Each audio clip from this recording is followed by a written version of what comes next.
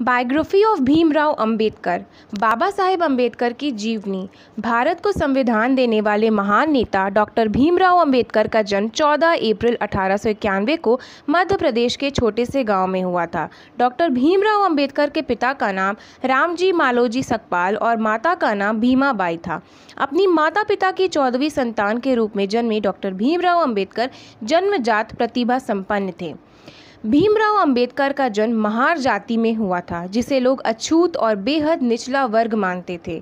बचपन में भीमराव अंबेडकर के परिवार के साथ सामाजिक और आर्थिक रूप से गहरा भेदभाव किया जाता था। भीमराव अंबेडकर के बचपन का नाम रामजी सकपाल था। अंबेडकर के पूर्वज लंबे समय तक ब्रिटिश ईस्ट इंडिया कंपनी के सेना में कार्य किया करते थे और उनके पिता ब्रिटिश भारत सेना के मऊ छावनी के सेवा किया करते थे। भीमराव के पिता हमेशा ही अपने बच्चों की शिक्षा पर ज़ोर दिया करते थे। वर्ष 1894 में भीमराव अंबेडकर जी के पिता सेना निर्वृत्त हो गए और इसके दो साल बाद अंबेडकर जी की माँ की मृत्यु हो गई। बच्चों की देखभाल उनकी चाची ने कठिन परिस्थितियों में रहते हुए किया था। रामजी सकवाल के केवल तीन बेटे बलराम, आनंद राव और भीमराव और दो बेटियाँ मंजुला और तुलासा ही इन कठिन हालातों में जीवित बच पाए। अपने भाइयों और बहनों में केवल अंबेडकर जी ही स्कूल की परीक्षा में सफल हुए और इसके बाद बड़े स्कूल में जाने में सफल हुए। अपने एक देशत्रस्त ब्राह्मण शिक्षक महादेव अंबेडकर, जो उनसे विशेष स्नेह करते थे, उनके कहने पर अंबेडकर जी ने अपने नाम से सकपाल हटाकर अंबेडकर जोड़ लिया, जो उनके गाँव के नाम अम्बावड़े पर आधारित था। 8 अगस्त 1930 को एक शेधित वर्ग के सम्मेलन के दौरान अंबेडकर जी ने अपनी राजनीतिक दृष्टि को दुनिया के सामने रखा, जिसके अनुसार शोषित वर्ग की सुरक्षा उसकी सरकार और कांग्रेस दोनों के स्वतंत्र होने में है।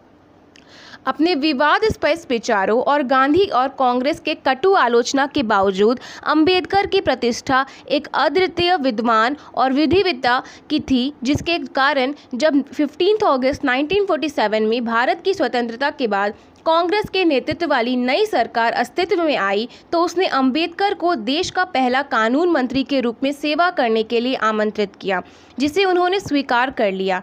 29 अगस्त 1949 को अंबेडकर को स्वतंत्र भारत के नए संविधान की रचना के लिए बनी संविधान मसौदा समिति के अध्यक्ष पद पर नियुक्त किया गया। 26 नवंबर 1949 को संविधान सभा ने संविधान को अपना लिया।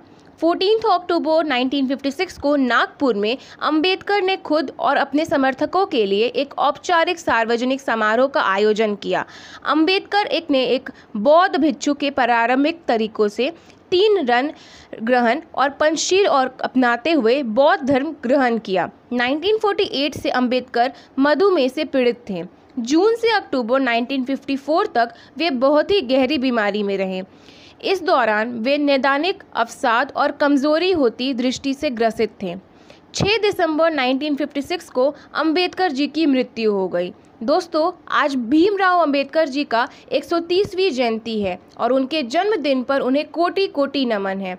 भीमराव अंबेडकर हम सभी के लिए एक इंस्पिरेशन है, एक हमारे लिए नई रोशनी है, जिसे हमें अब आगे चल के फॉलो करना है। तो दोस्तों, अगर आपको आज का ये वीडियो हमारा पसंद आया हो तो इस वीडियो को लाइक शेयर सब्सक्राइब ज़रूर करिएगा। जय हिंद, वंदे मातरम।